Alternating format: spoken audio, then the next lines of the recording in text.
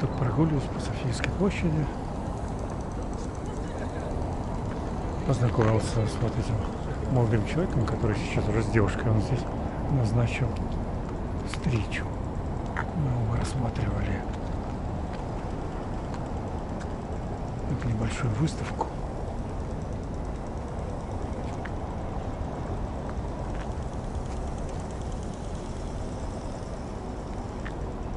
Сейчас покажу, что мне больше всего понравилось. Это писанка.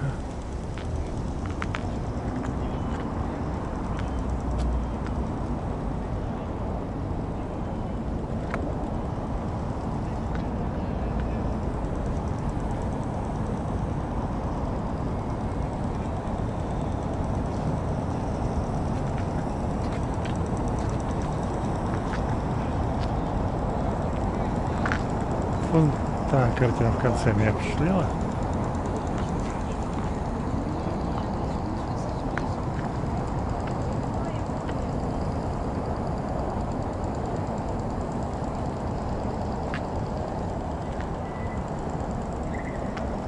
Народная картина «Село у долыни». И даже нет автора, но сделано она, конечно, мастерски. Село в долине. Середина 20-го столетия. Коллекция музея Ивана Гончара.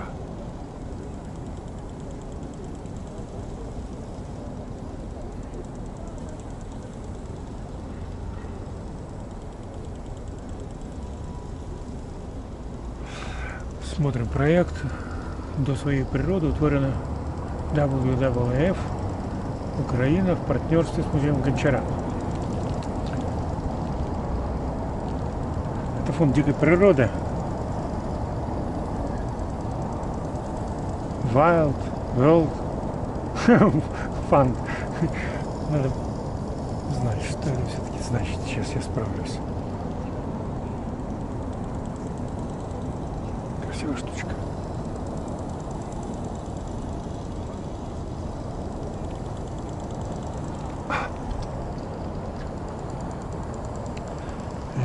Немного закупченная.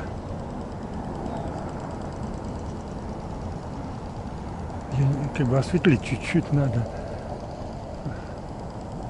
Но она уже, наверное, так прокоптилась за столетие, что решили не слишком травмировать. Живописный слой. Так, немножко мыльцом помыть.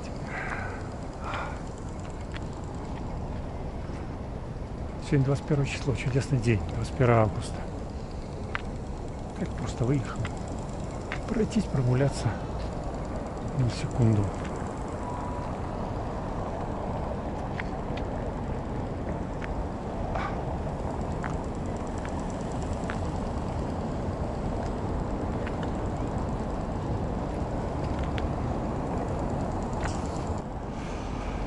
Да.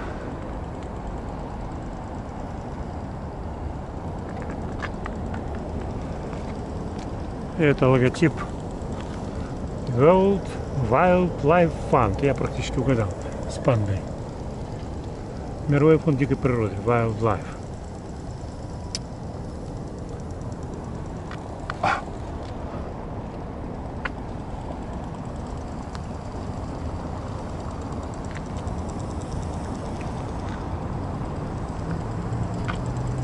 Что-то в этом есть даже немного печальное. Как в каком-то давнем воспоминании. Но это и есть давнее воспоминание. Воспоминание о том, чего уже нет.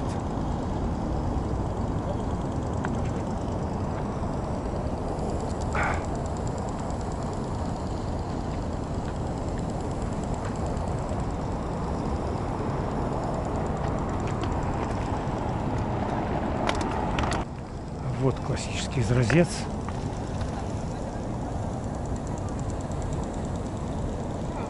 Здесь всего лишь три цвета глазури. Фиолетово-синий,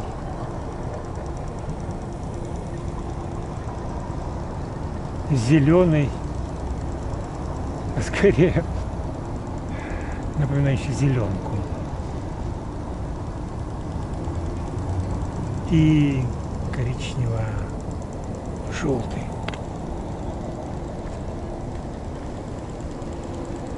Видимо, небольшой был выбор химикатов в приготовлении этих образцов. Они были классические, широко распространенные.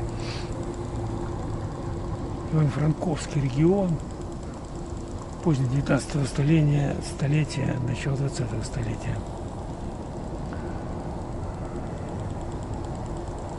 Растительный и орнитологический орнамент. Это, наверное, с фиолетовыми ветвями смерека. Я вспомнил, как в музее Гуцульском, в Ивано-Франковске, в Ивано-Франковске, в Верховине во время путешествия я рассматривал такие изразцы. Там были огромные наборы, большие, с печей крупных. Вот.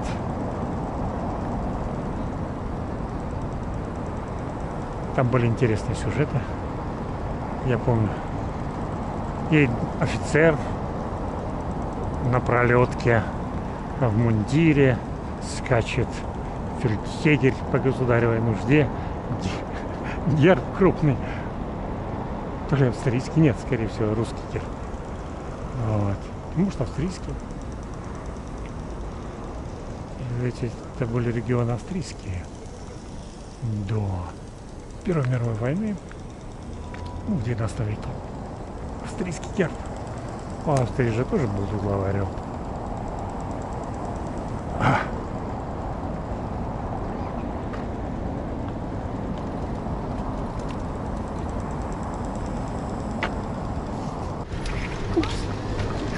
Четыре, три, два, один.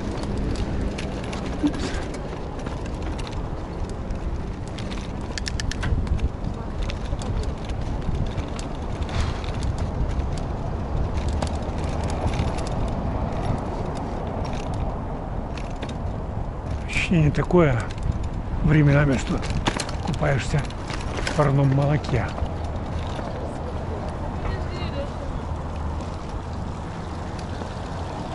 Гортензия.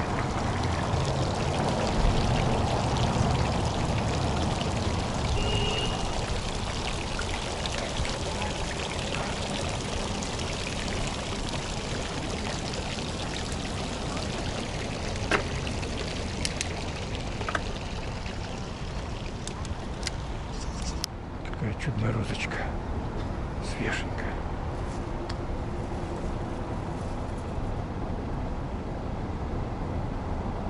Что за травка? Типа О! Вот она какая. Фиолетового отлива. Сейчас мы узнаем. Жесткая. Почти как осока.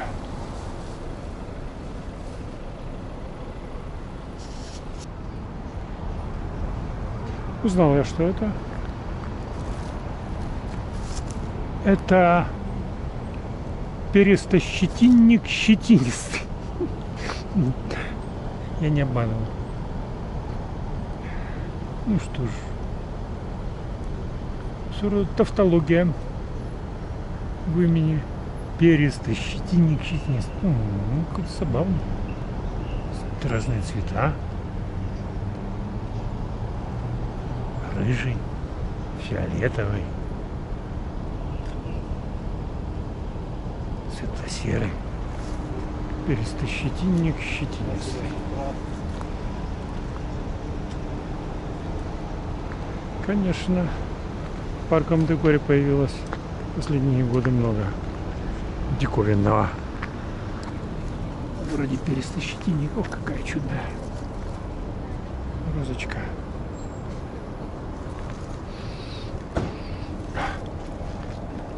пахнет.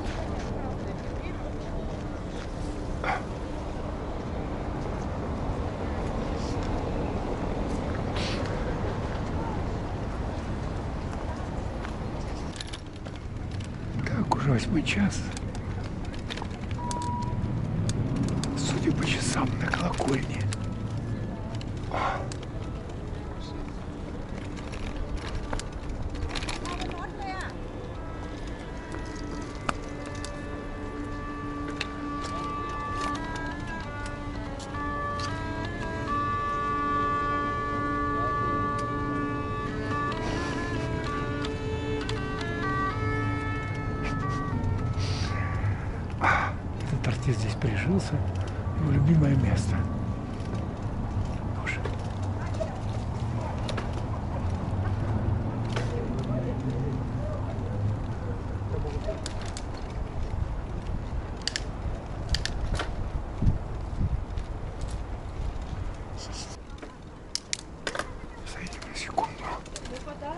Bye.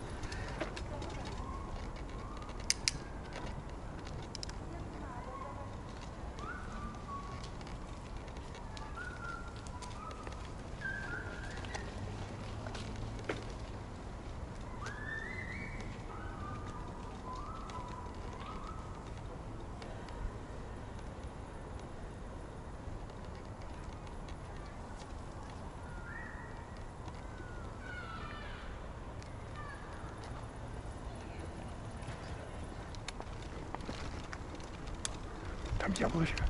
Яблоневый сад. Сейчас мы проверим, что за яблочки выросли в этом году. Обычно их там много.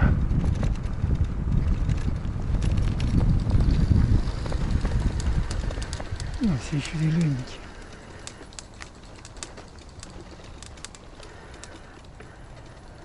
Да. Есть крупные.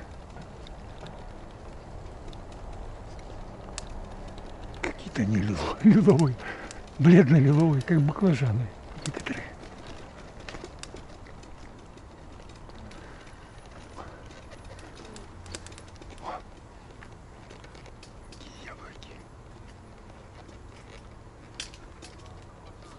И такое чувство, что они еще не созрели.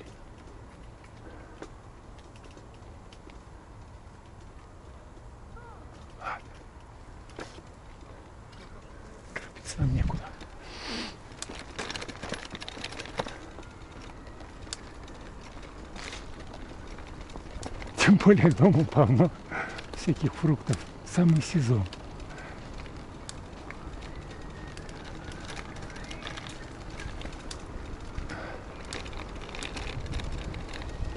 Я уже иногда думаю, все, больше ничего покупать не буду.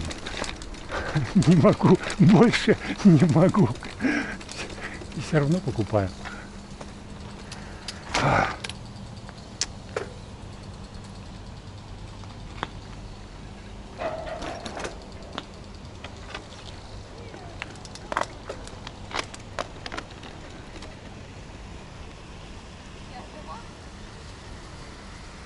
Надо где-то попить чаю. Вспомнил, что я еще чай не пил.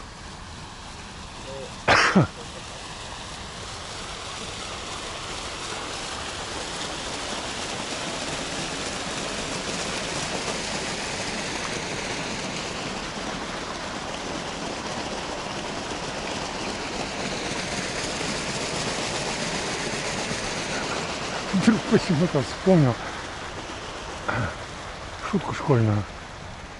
Стих Андрея Белого, по-моему, у которого были такие строки «О, убери свои босые ноги». Ужас.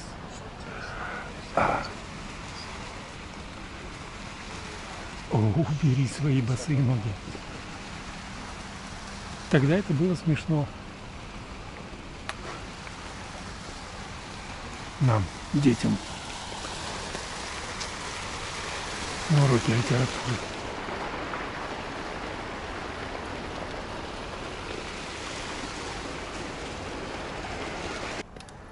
По-моему, строки звучали несколько иначе. О, о, прикрой свои босые ноги.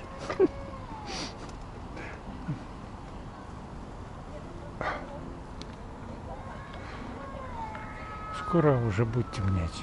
Все. Что ты мне напомнила? Не знаю, вдруг какой-то флешбэк проскочил, как вспышка. Мне это напомнило Александровский столб на Сенатской площади в Питере. Это ангел. А почему, не знаю, в каком-то ракурсе вдруг как мелькнул этот столб Александровский.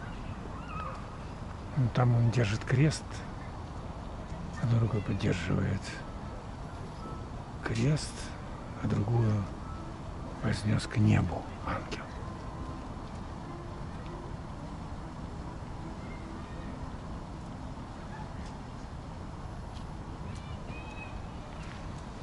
Меч уже отломали. И щит тоже.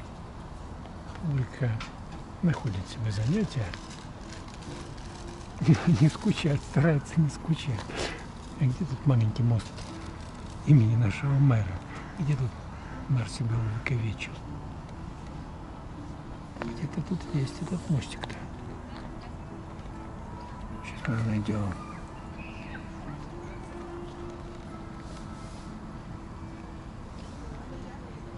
Это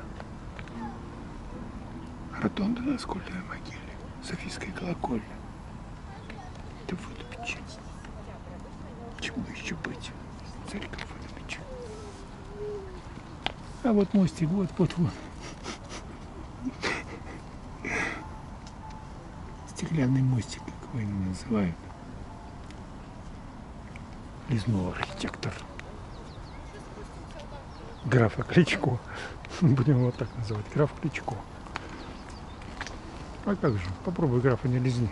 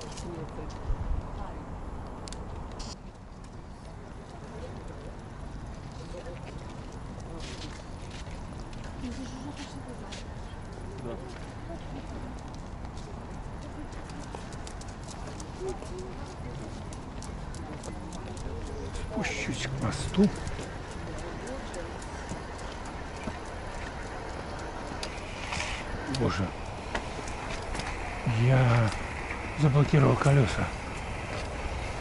Боже, иду юзом.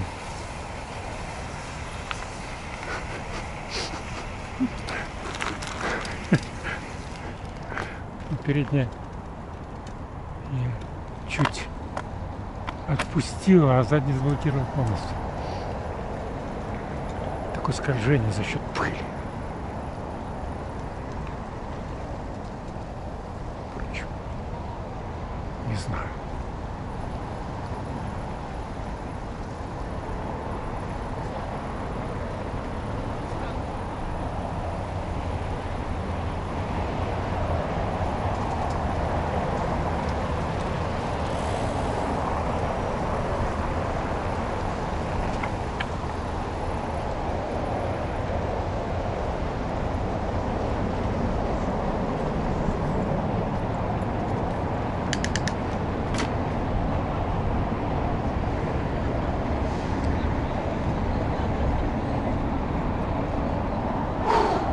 Здесь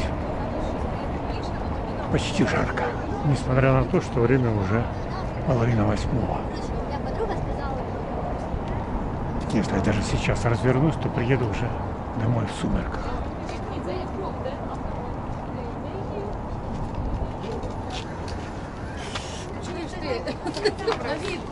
Настоящий фотограф. Главное для фотографа это уметь становиться разные позы. Очень динамичные во время съемки.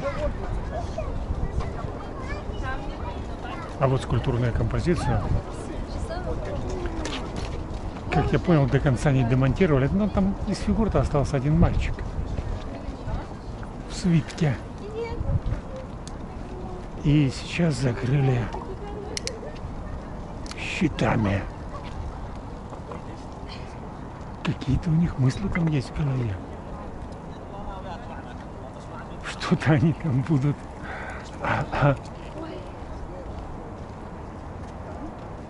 Что-то будут видоизменять в этой композиции. Одного невинного ребенка оставили, всех остальных убрали. Почему его оставили? Потому что невинный. Он вообще маленький ни за что не отвечает.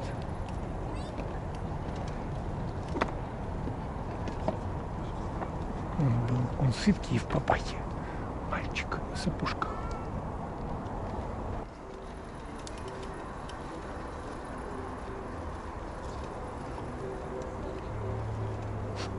Все покинули беседку. Тут я и буду пить чай.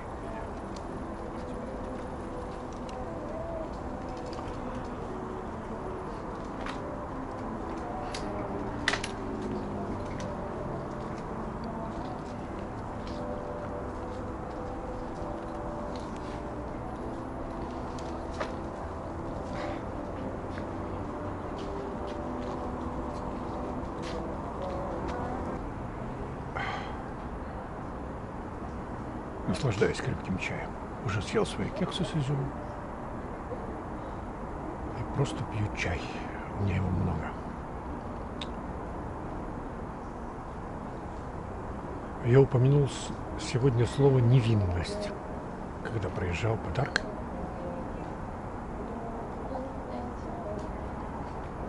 Под бывшей аркой дружбы народов Точнее, не так. Под аркой бывшей. Аркой дружбы народов. Теперь она как-то по-другому называется. Так вот, я произнес это слово, и как-то оно зацепилось. И я вышел вот на такую интересную тему. Так ли мы люди невинны, как о себе думаем?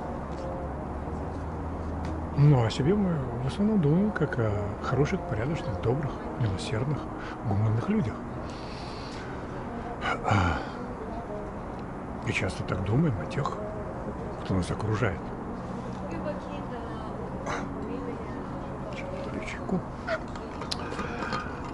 А Тут неделю назад попалось мне одно интересное видео. Я подписан на профессора одного, Кристиан. Он где-то в Мэриленде, в Соединенных Штатах, преподает в университете. У него хороший голос. И у него есть YouTube-канал.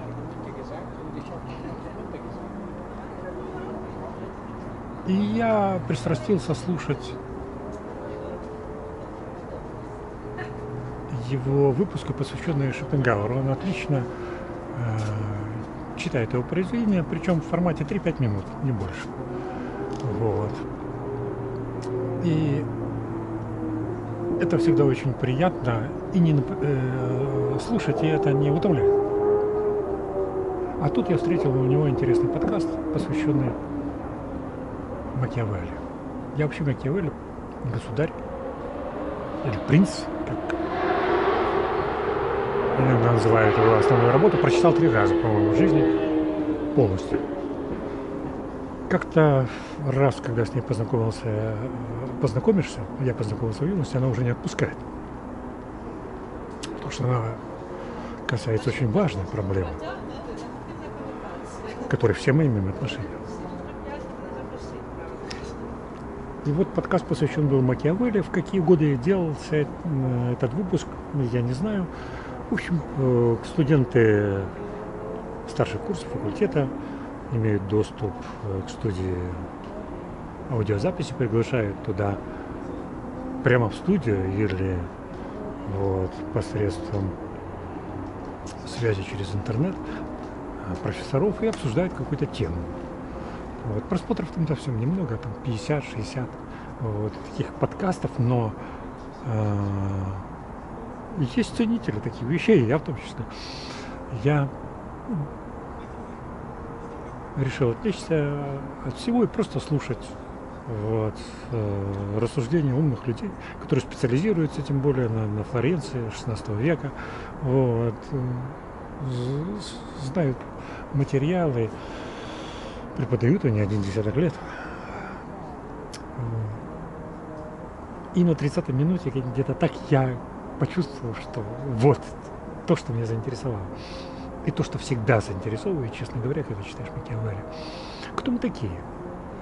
И как мы относимся к насилию вообще? И вот эм,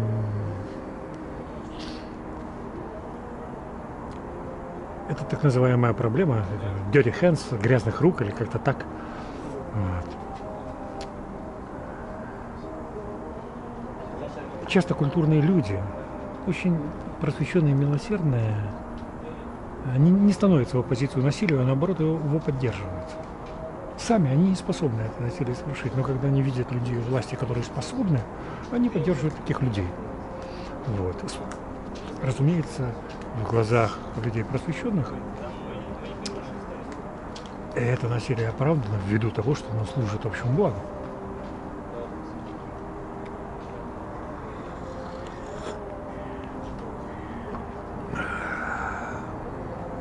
И когда я слушаю, я вспомнил понятие «менсрея». Это из римского законодательства. «Менсрея» означает «guilty mind», э, э, виновность ума, «менсрея». И э,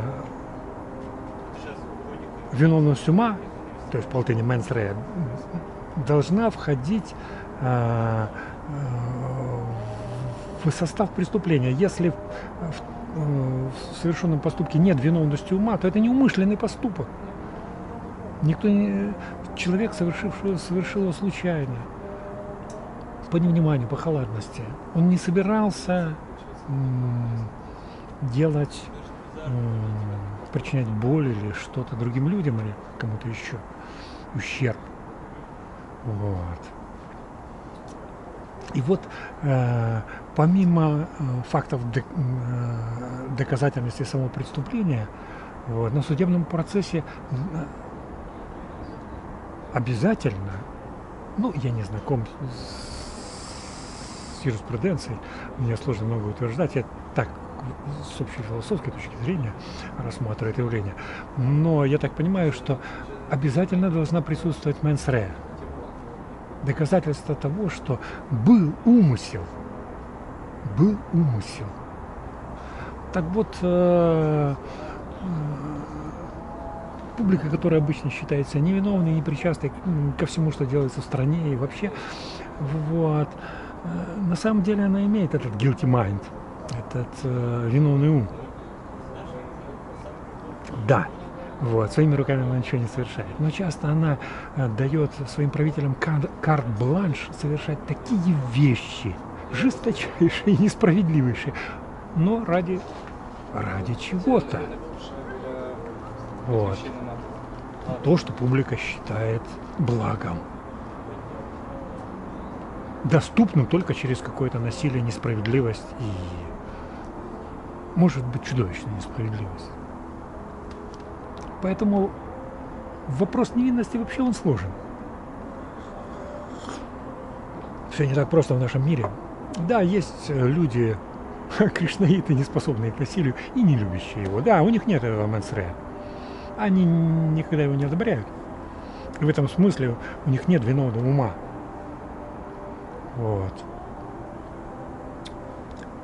Я вообще встречал очень э, спокойных, уравновешенных и мягких людей по характеру. Вот. Которые очень осмысленно относятся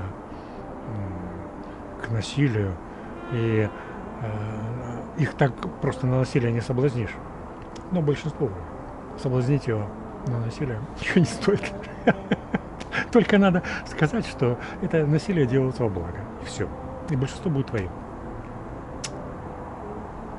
Это-то и имел в виду Макиавелли.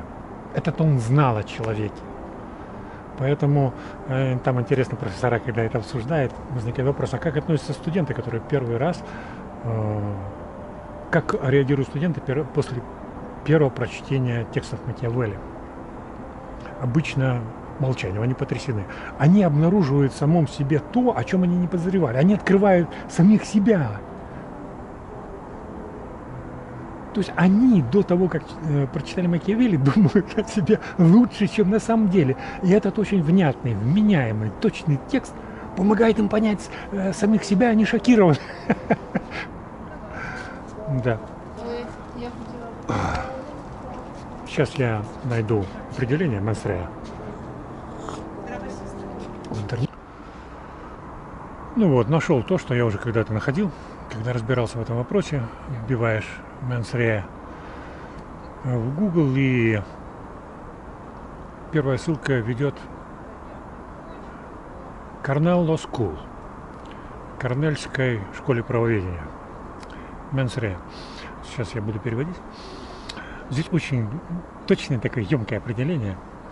Вот. Мне очень сразу понравилось. Менсрея м, относит нас к криминальному намерению.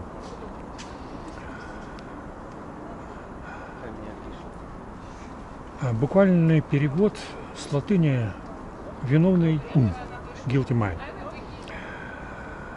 Менсрея – это состояние ум- ума требуемое, обязательное, statutorily required, для того, чтобы обвинить конкретно подозреваемого в конкретном преступлении.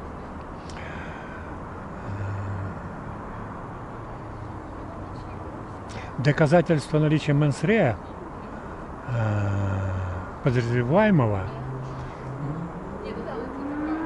в, э, в, м, вдобавок к э, э, вместе с доказательством наличия актус реус физических элементов э, преступления обычно необходимо для того, чтобы доказать вину в криминальном расследовании. То есть должен для, для доказательства вины должно быть доказано наличие mens reus, rea. Вот. То есть намерение. И actus reus. физических элементов преступления. Вот так. Так что э, э, не все так просто. Иногда кажется, что преступление это только то, что ты сделал. Преступление это еще то, что ты подумал. Как ни странно. Ну, богословие это понятно. Вот. Когда чуть-чуть начинаешь разбираться в этих проблемах, то понимаешь, что грех это не только что совершил делами, но то есть что то, что ты совершил в мыслях. Об этом, об этом, кстати, многие не подозревают. Я помню, я ходил на один богословский семинар из любопытства в Зверинецком монастыре зимой. Ездил, у меня было много свободного времени. Вот. Чтобы не скучать вечерами, я ездил на семинар. Там был иеромонах, его вел. Иеромонах Хризостом, по-моему, его было имя. Вот. И я помню, как один, точнее одна из присутствующих воскликнула, так неужели нельзя и подумать? Уже такая зрелая женщина, да неужели нельзя и подумать? Видимо, она полагала, что думать можно все. Если испытывать внутри любые эмоции, но не совершая никаких действий, вот, не нести ответственность за это все перед Всевышним? Тоже интересный вопрос.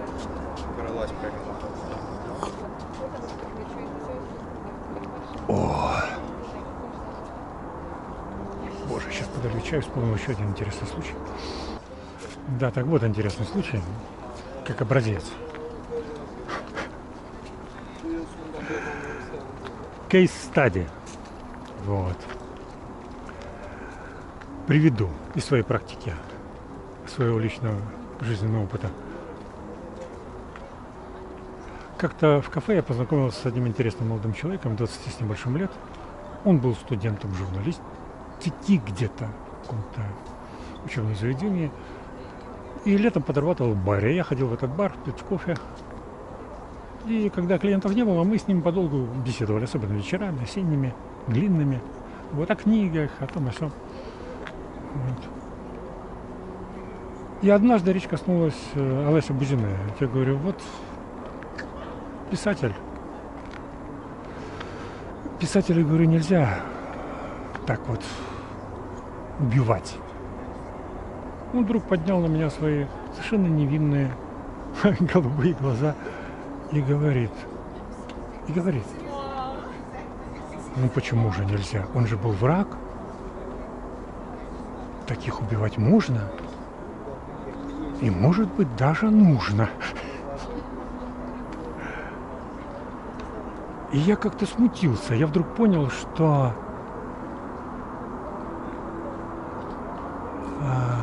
сейчас вот мне бесполезно что-то объяснять человеку, у которого сложился уже такой взгляд. А я задумался, почему же он сложился, кто его убедил в том, что такой взгляд можно иметь, то есть оправдать подобные вещи. Как э, не просто оправ... оправдываемые в принципе, но как нужные и даже необходимые. Вот Менсрея.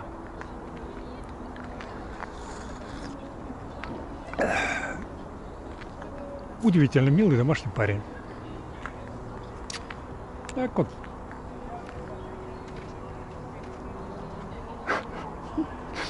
Такой небольшой философский этюд о человеческой невинности. И о проблеме грязных рук.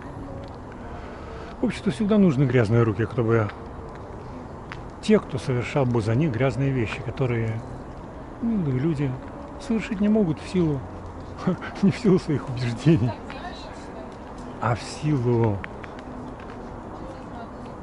некого, может быть, даже назовем это так, священного страха вышника. А ведь мы немного су суеверны. Да, если это правильно назвать суеверием, все мы немного боимся Всевышнего. Каким мы атеисты не были. Вот. Но и у нас может проснуться священный ужас перед чем-то, что выше нас и нашего разумения. А когда кто-то это делает за нас, ну, как бы берет этот грех на себя. Вот. И отлично. Отлично, мы-то сами не хотим, боимся. Ну, как, как Гамлет. В некотором роде боимся.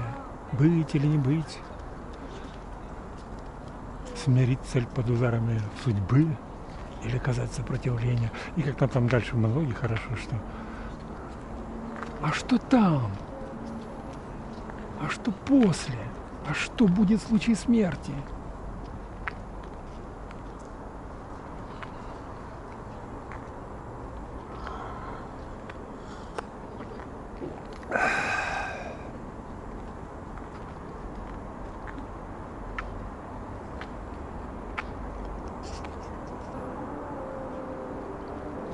Все, еду домой. Боже, как вдруг стало хорошо вечером. Это весь тяжелый зуд э, жаркого, липкого дня вдруг исчезает и наступают минуты настоящего блаженства.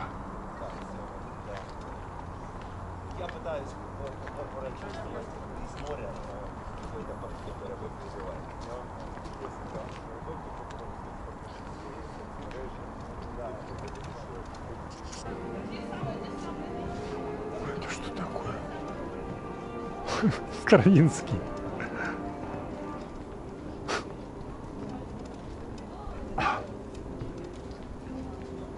Вдруг захотелось в Маринский парк. В это время там выступали хорошие коллективы. Третье лето уже пропущено. Третье лето, как закрыт Маринский парк.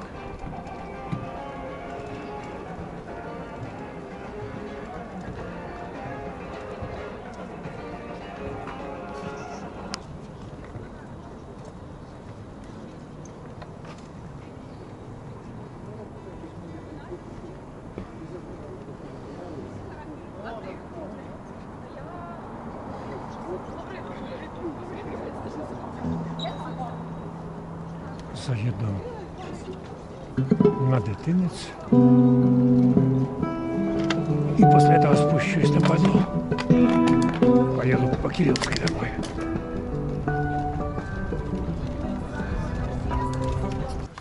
Ну, бр- бражники собрались, молодцы. Ну так это хорошо. Это еврейская тема. Они всегда пусть.